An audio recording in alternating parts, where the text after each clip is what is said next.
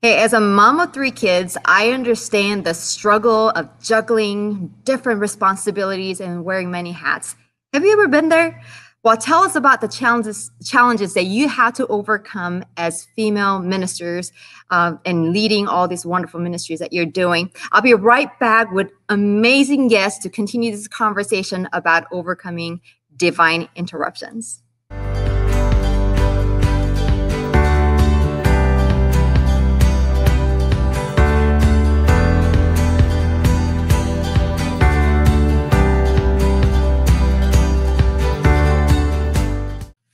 Hey guys, uh, welcome back. I'm Saehee, and this is the NWM Leadership Podcast. As you know, great leaders are lifelong learners.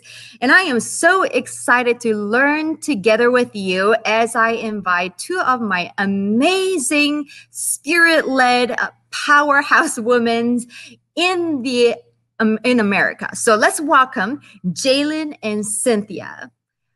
JayLynn and Cynthia, where are you? There you go. There you are. I am so Hi. excited you're joining our conversation today. How are you guys doing? Wonderful.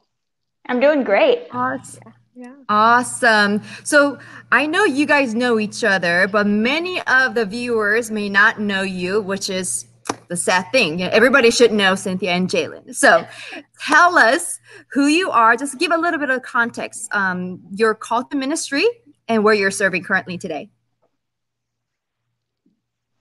JayLynn, why don't you start us off? Okay, I'm JayLynn Sperry. Um, like you said, I'm currently in Stillwater, Oklahoma, serving at Oklahoma State Chi Alpha. I'm working as a CMIT, so that's um, it, I'm going through an internship process to be um, credentialed and qualified to um, work as a missionary associate through Chi Alpha. Awesome, Cynthia. Yeah, and, and you know, she left out, she's an evangelist extraordinaire. She's just got such a powerful anointing to bring people together. Um, she's mm. she was mm. when she was a student, one of the greatest inviters, and as a staff member um, with us at Oklahoma State University, you know, led so many outreaches to bring people to Jesus. So super proud of JayLynn and her ministry and her call, and it's been wonderful watching it bloom. Um, I am Cynthia Dobbs, and uh, currently my husband and I are pioneering, uh, repioneering Chi Alpha in the Tulsa area. We're trying to approach it as a metro model Chi Alpha, so more than one campus because Tulsa is a um, as all as many big cities are as a melting pot of cultures, mm. and there's a lot of there are a lot of universities, um, 44,000 students, international students from 100 different countries, so lots of opportunity to reach students in the Tulsa area. I'm also the cross cultural missions resource specialist for nat- uh, National Chi Alpha which means that I help train and equip and empower our workers to reach uh, diverse people from different backgrounds, internationals, um, women, you know, uh, anyone mm. that, that doesn't look like us really. So, wow, fascinating, wonderful resumes. It's amazing experiences that you guys bring to the table. It almost seems like the women are thriving in the Chi Alpha world, and widely accepted and respected and recognized uh, as leaders. Uh, uh, it's incredible to just hear your uh, story. So, give us a little bit of tips. How are men and women partnering to reach this many nations and college campuses? I believe that a lot of ministers and pastors outside of the campus ministries can learn from your experiences. So, how are you guys doing this so well? That's a good question, Saehee. Yeah. So for me, you know, I my first Alpha experience, I was in a pioneering campus ministry, and so I was one of the very first students that was invited into being part of that Alpha. So I didn't know really that that you know women did different jobs than men, or even that internationals did different jobs than men, or even the access problem was not really there because I was one of the pioneering members of the team. So we all did everything so I just kind of got roped into it. And the culture, it was just easy and invitational because I think mm. our leaders for the longest time have stewarded a culture of honor and respect for both genders. Uh, n- not necessarily making the men be like women or the women be like men, but like owning our ministerial call in, in the way that the Lord yeah. has made us and, and using it for our as our strengths instead of our weaknesses. Mm-hmm. So I yeah. think um, also you know, kudos to the Chi Alpha men. I don't think they're very secure in their calling and, and they don't feel mm. um, any need to close the doors. They they are usually opening the doors for us in in a lot of ways sacrificially, uh, giving up opportunities that they may perhaps have been invited to speak at something, but but putting our name in instead of their own name. And, and my husband um, mm. is perhaps one of the greatest champions of that uh, in my life, and, and especially in the lives of our staff that that we have um, had at Chi Alpha for sure. So. Wow, fascinating. How about JayLynn? Yeah, much like Cynthia, um, I came into Chi Alpha and it was already the culture. Like I wasn't in a pioneering effort, but I came in after Destry and Cynthia had kind of already like started Chi, like restarted Chi Alpha at Oklahoma State. And it was just really a part of the culture that women and men were both in leadership within Chi Alpha. So the staff at mm. Oklahoma State, um, when Destry and Cynthia were were here, was equally men and equally women. Um, so a large staff, about 11 people, or a large staff for Chi Alpha, about 11 people, and half men, half women. Wow. And I would say of that group, and it's still true today, um, even with Brandon Garrett here, uh, the director at Oklahoma State, the women in the room um, are um, their their voices are equally heard and equally mm. respected and equally valued, and the men in the room are willing to listen to what the women mm. have to mm. say and not only listen but like um, accept it and like want it they they desire to yeah. hear they i think they understand that um, as many people have said uh, the without women leading in the church like we're doing the nation uh, and, and, the world a disservice so i think they mm. recognize that and they own it and um, allow for women to bloom and to blossom in uh, leadership roles yeah. within chi alpha Wow, I thought it was very fascinating when you said when you came to Chi Alpha, it was already a culture. I mean, yes. so that kind of tells me as a, a, pastor of a local church, and I believe that it will really speak to our audience too, um, that we have to be the culture maker, culture transformer. That's where it begins, right? It's not just starting mm-hmm. with a program or some training. Uh, as leaders, you get to transform the culture that reflects the kingdom and I also love what Cynthia said that men in Chi Alpha are secure in their calling. And therefore, they champion female colleagues. I mean, they're not doing it because, oh, yeah, let's just be culturally relevant, but they're doing it because, yeah, I believe that God calls both men and women. I'm secure in my own calling, and I'm going to just do this with my peers, no matter the gender. So that was beautifully said. Well, JayLynn, I heard the story that you are preparing for a ministry credential. Congratulations. Thank that is you. a huge step at the moment. But you've uh, ministered along your husband for a while um, in your Chi Alpha ministry journey. But why did you decide to pursue your uh, ministry credential at this point?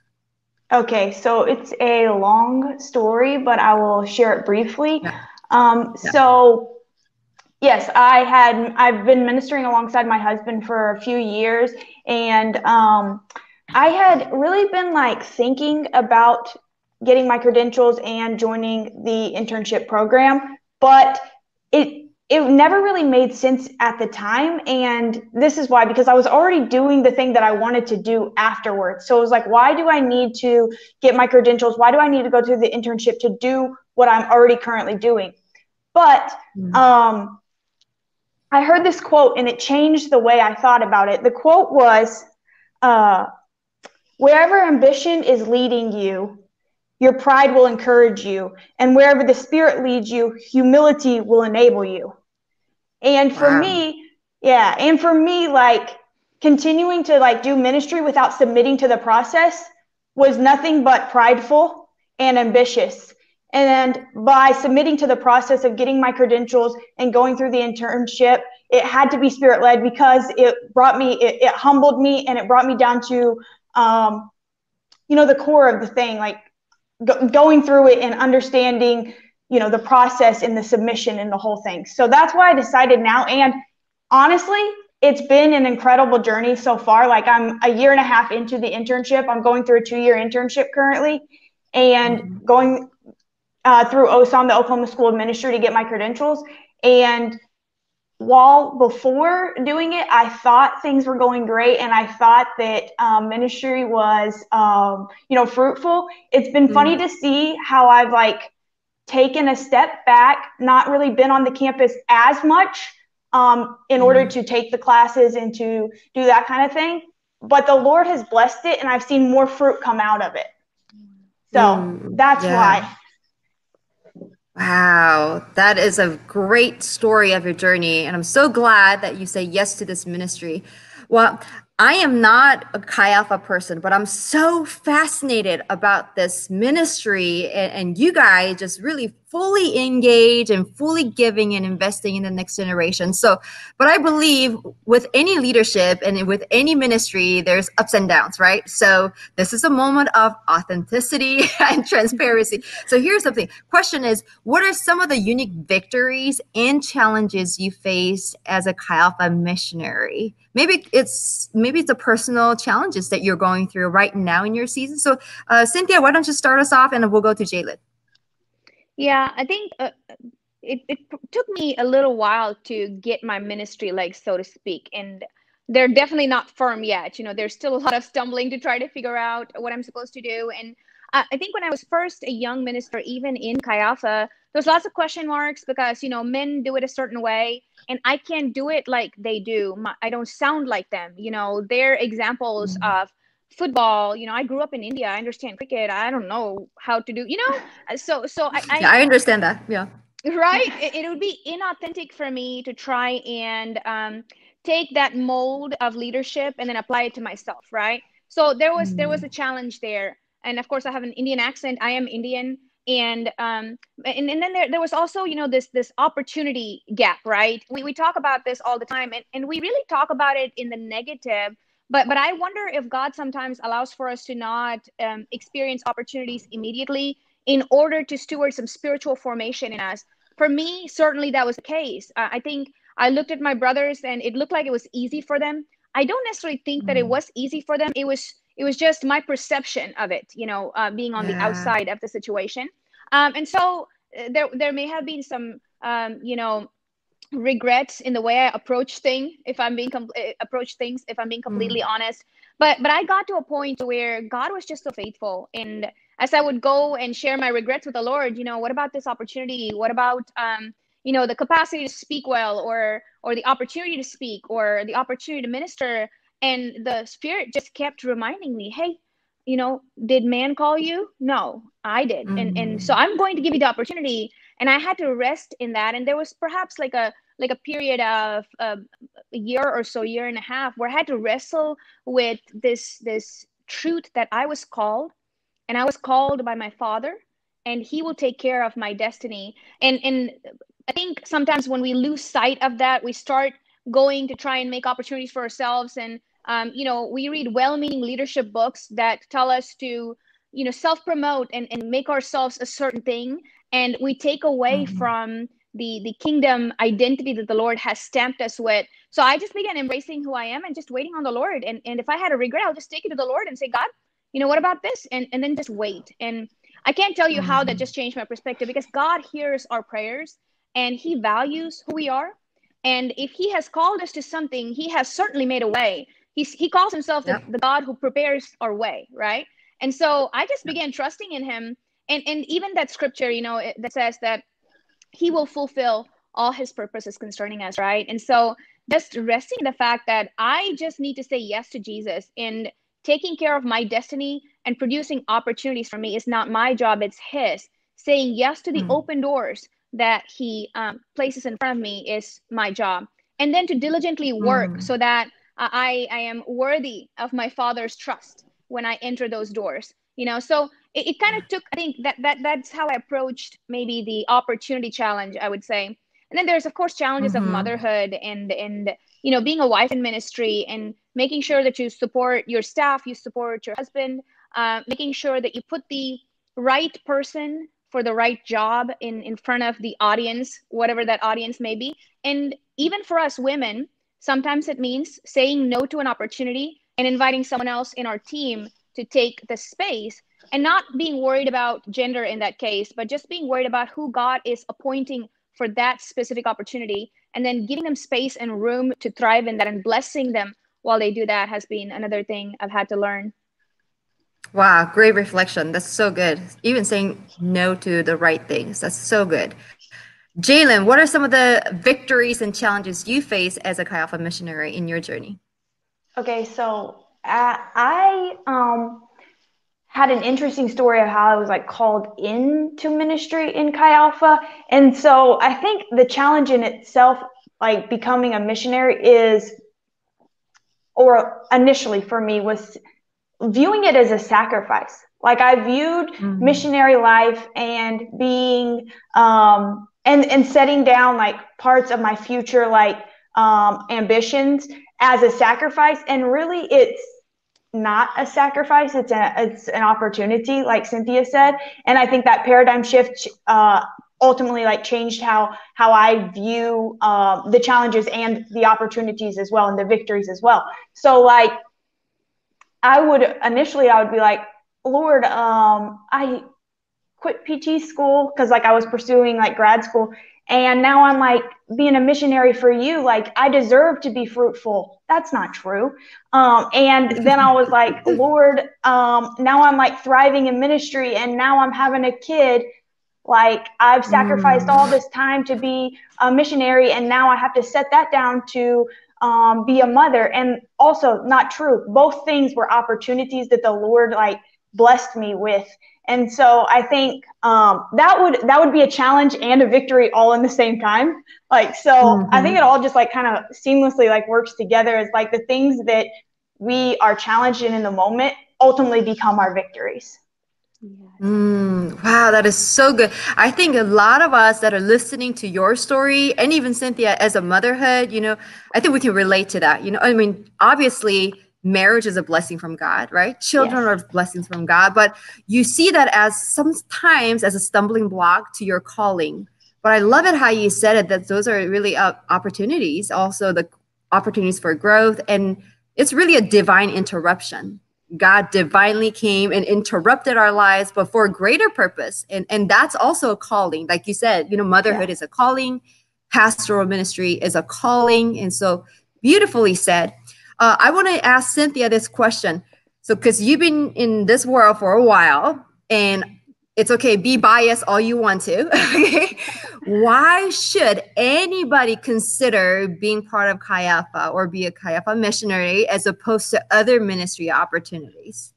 Oh my gosh, you're asking me the question that could land me in trouble, but you know, you, you told me that. To be honest, I'm going to. Just go for it. Yeah. Yes, I think I will. you know, here's my recruitment plug for Alpha. But anyway, um, I think one of the greatest things I learned in my Alpha journey is that being a Christian means that I can't just sit on a pew and worship Jesus on Sunday morning and then go back home and have a good life and, you know, just by the skin of my neck make it into heaven. That is not God's purpose for me. God's purpose for me mm. is to mm. thrive. God's purpose for me is to join him in this, you know, epic battle between good and evil where I'm fighting uh, with the good guys, trying to bring more of God's lost sons and daughters back into the kingdom and relationship with God. So, growing up as a Christian in India, I had a very consumer mindset. You know, I had a very um, do I like the pastor's message? You know, is the worship good today? So on and so forth. And and turns out that's not what Christianity is about. And if I had not had Chi mm. Alpha in my life, man, I would have not gotten that message as thoroughly as I do right now. Because the one thing that Chi Alpha does well is discipleship. And mm. in, in, discipleship, uh, the way I look at it is spiritual parenting. And, and they take you as a immature uh, spiritual uh, being, and then they help you mature in the faith, teach you spiritual disciplines, you know, um, mm. not just have good conversations over coffee, but push back on some of the sin nature that you are displaying uh, with impunity mm. and, and try and yeah. um, help you grow out of it so Chi Alpha does discipleship so well. And and I also think as a woman in in as a woman who grew up in India, I saw a lot of models for good leadership in women.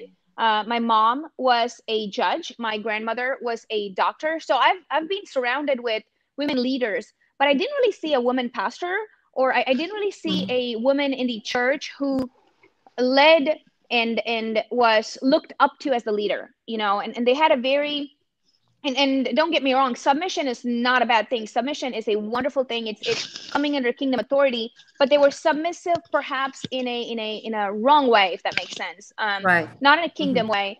And and Chi Alpha really allowed for me to embrace um the authentic calling that is on my life and and do it right. with the kingdom structure. So they encourage the good mm-hmm. things and then kind of push back on the bad things all while tending to my soul and, and helping me grow towards the lord. So I think that's why, you know, any minister, I think if you're if you're a young woman minister or maybe even a young woman in college thinking about what Jesus may be calling you to do, go find your local Chi Alpha yeah. chapter and and yeah. we've got chapters all over the country, even overseas and connect with the Chi Alpha pastor, get in a small group and and submit right. yourself to some mentorship within that small group. You will thrive in Jesus. It really helped me mm. kind of sharpen the arrowhead of my calling um, and I don't know mm. if I could have done hmm. that in, in just a, a, church setting.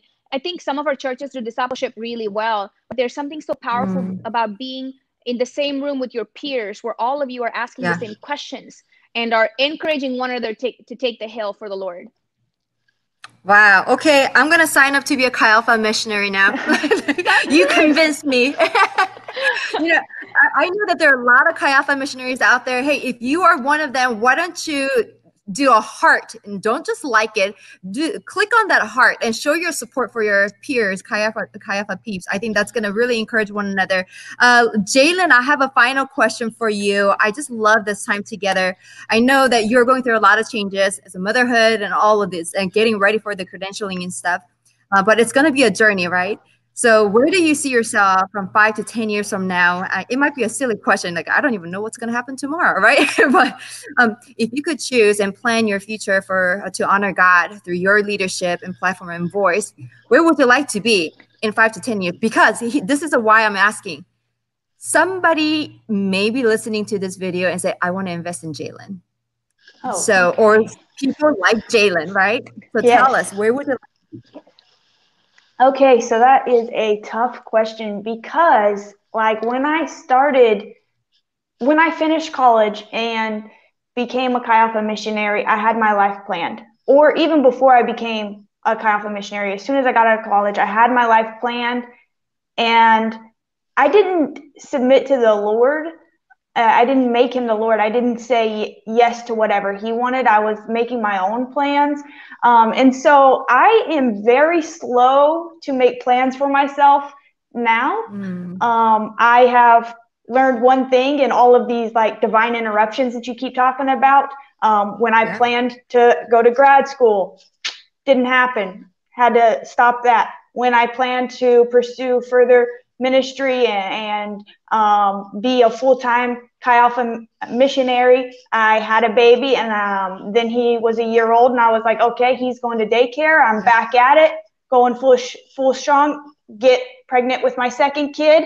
Um, he is a blessing, but it was a definite divine interruption. So the one thing in all of that that I've learned is my plans are significantly weaker than the Lord's plans mm. for my life. That's good. And and so what I'm focusing on currently, while I do have goals and and plans for the future, and I hope it involves Chi Alpha um, wholeheartedly. Um, there's one thing I know that I will be following Jesus and I will be making disciples and um, I will be focusing on daily obedience and hearing from the Lord and having Him direct mm. my path. So I'm not really sure where I'll be in five to 10 years. I think that's the best answer that I've ever heard. That you're right? going to be obedient Do you see why I love call her? of God. I know. And this is a product of Chi Alpha Ministry. I am so proud of for our you guys and the AG legacy and the Chi Alpha leaders and student leaders and the people that you are working with. Thank you, Cynthia and JayLynn, for your time. And I know I can talk forever with you about reaching people and lost souls, but thank you for your obedience. Seriously, I, I really cherish you as sisters in Christ, but your leadership really inspire me to be better me. So God bless you. I hope the best for you and reach all nations as, as God leads you. God bless. Thank you, Saehee. It was wonderful to be part Thank of this. You. Thank you. We'll see you soon. Oh my gosh, guys. Did you hear their stories? I feel really pumped spiritually. I'm like ready to just move forward and love God and just continue to walk this journey of obedience no matter what happens in our lives. Because believe me, those divine interruptions will happen no matter which season of your life you're going to be in. But their stories are such a great reminder that God will continue to use you if you got married, God's going to use you. If you had a first child, God's going to use you. If you have a fifth child, God's going to use you. So let's just continue to obey God and just be faithful in that journey. Hey, stay plugged in. Uh, we want to just get to know you and champion you through all these podcasts and training resources. Follow us on Facebook and Instagram at AG Women Ministers. And I look forward to growing together and learning together with you. God bless and we love you. We'll see you back.